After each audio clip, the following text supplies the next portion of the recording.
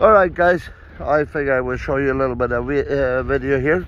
This is for the, the uh, whole thing on saturday friday saturday and sunday. We are clearing everything up here. It's going to be nice and clear. We have the snow drifts there like the snow piles. Actually i did all this by a shovel. Yeah stand oh you did it all by with the yeah, shovel? bare hands. Holy look took me about an hour? Pretty good. So yeah this is and uh, tomorrow the grader and the tractor uh, is coming tomorrow so we're going to make it uh, open more like that. But that is uh, the snow there for the wind and then we have snow that way.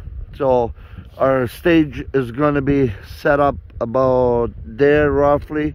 The big tent is there and then there's the small tents for cooking and all that. And that is the road so that is figure i will show you guys a little bit. It's an open field.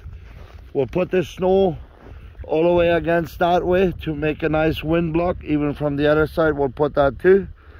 And then uh, we'll have a very nice weekend here with the freedom medical freedom and freedom convoy 2022 and also a uh, that is uh, for the funeral for Dennis Plett in memory of Dennis Plett. So guys there's gonna be plenty plenty food here. A lot of food. Friday evening Saturday Sunday. There's gonna be different speakers. There's gonna be singers here. So there's a lot a lot of things gonna be happening here. So guys thank you very much and we'll see you on the weekend